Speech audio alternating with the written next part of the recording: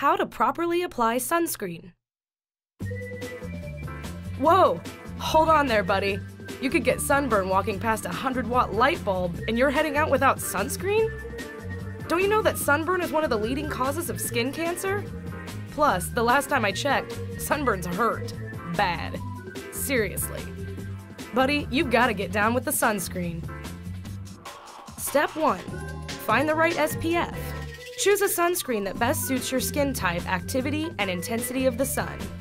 Sunscreen is rated with an SPF number, or sun protection factor. Though not a precise formula, a higher SPF generally provides more protection. For example, if you would normally burn in 12 minutes without sunscreen, an SPF of 10 would let you stay out 120 minutes before burning, but no matter what you wear, the sun can still get through. Some sunscreen is waterproof or sweat-proof, making it a better choice if you're swimming or physically active. Step 2. Apply before going out.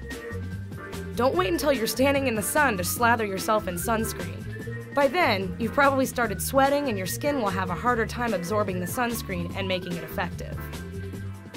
Instead, apply sunscreen to dry skin when you're indoors roughly 30 minutes before you plan to be in the sun. Be sure to pay extra attention to areas most exposed to direct sun, such as your ears, nose, shoulders, and forehead. Step 3 Reapply.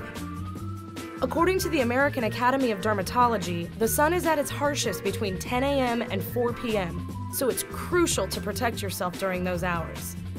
Like a good tan, sunscreen effectiveness can fade. Reapplying is critical in protecting yourself from sunburn, so make sure you do it every two hours or after swimming, sweating, or toweling off. Done. These are the basic steps for how to apply sunscreen. If done correctly, you can spend many happy years in the great outdoors with less worry and way less pain.